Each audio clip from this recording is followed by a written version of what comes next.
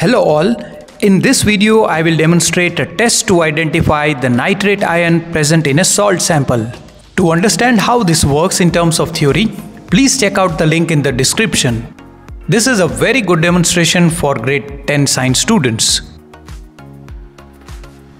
Here we have potassium nitrate, a white colored salt soluble in water and FeSO4 that is ferrous 2 sulfate slightly green in color which is less soluble in water.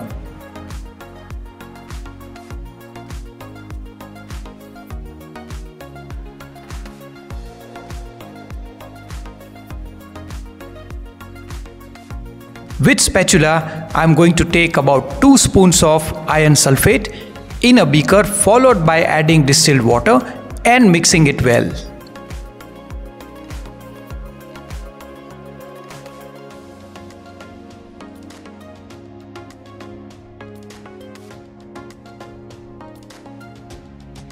Same process repeated for potassium nitrate and obtaining its aqueous solution.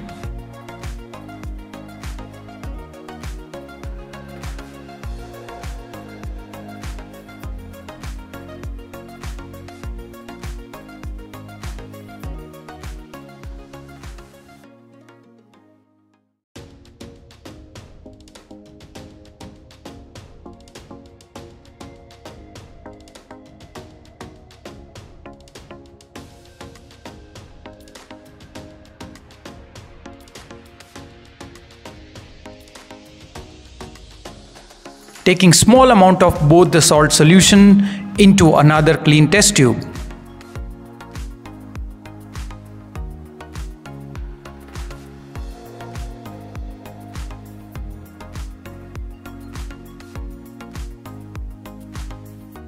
We will very carefully add concentrated sulfuric acid using a dropper.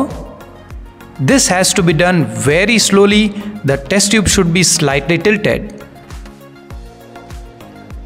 Sulfuric acid should be added dropwise from the sides of the test tube.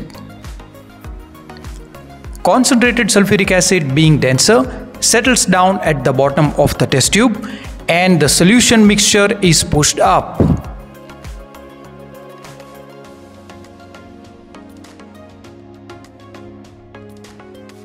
At the interface of the mixture, the reaction takes place and a beautiful ring of nitrosoferrous sulfate is obtained.